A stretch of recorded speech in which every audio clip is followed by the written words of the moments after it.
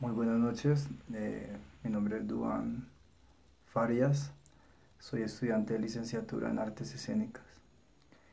Eh, conforme al, al escrito, pues pienso que hay muchas limitaciones para nosotros los artistas.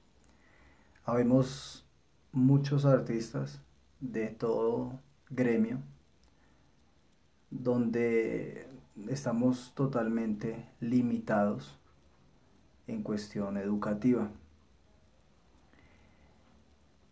Pienso que no tenemos mucha libertad, pienso que no tenemos mucha igualdad, porque definitivamente el gobierno con sus leyes nos tienen privados, a muchos. Mm, en artes escénicas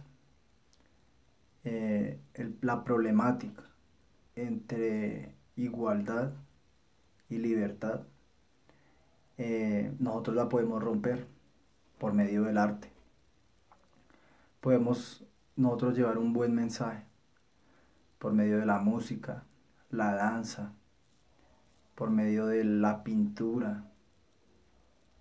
Cada vez que nosotros eh, interpretamos nuestro talento al público, nosotros podemos romper todo ese tipo de limitaciones que el mismo gobierno nos da. Aún así podemos romper esa diferencia entre igualdad y libertad. Porque nosotros cuando estamos dando nuestro talento hacia el público, pues no no tenemos ningún tipo de limitación. No tenemos, no nos sentimos en ningún momento oprimidos, porque estamos siendo nosotros mismos. Nosotros como licenciados de artes escénicas tenemos la prioridad de enseñar a las nuevas generaciones que por medio de nuestra arte podemos traer bastante libertad, a, bastante libertad a nuestra ciudad, a nuestro país. Y aunque no haya igualdad, las dos son hermanas, porque como individuos éticos podemos promover, promover nuestros principios.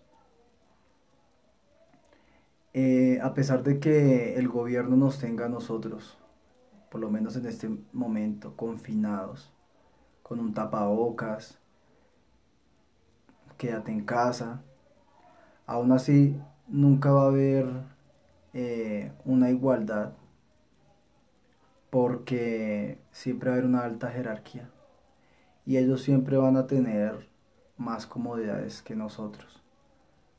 Simplemente pues cuánto gana un congresista, a una persona que gana un mínimo y debe trabajar ocho horas.